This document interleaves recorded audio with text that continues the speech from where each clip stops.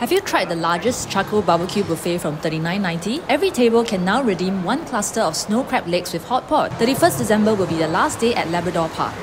There are various buffet lines with assorted roasts, baked salmon, Cantonese sea bass, roasted pork knuckle, cheesy fried prawns, and more. Barbecue unlimited seafood such as three spot crab, slipper lobster, flatfish fillet, assorted prawns, scallops, and various shellfishes. Load up on these freshly shucked oysters and marinated seafood trays. Enjoy DIY fried seafood with various sauces like deep fried sotong, gochujang prawn, soft shell crab, and oysters. Get hot dip like duo cheese, ketchup mayonnaise, sambal, and satay sauce. Head over to the Gourmet Meat Bar with over 30 types of marinated meats and premium steaks, beef cubes, bone-in ribs, pork collar, beef brisket, oyster blade, and wagyu karubi.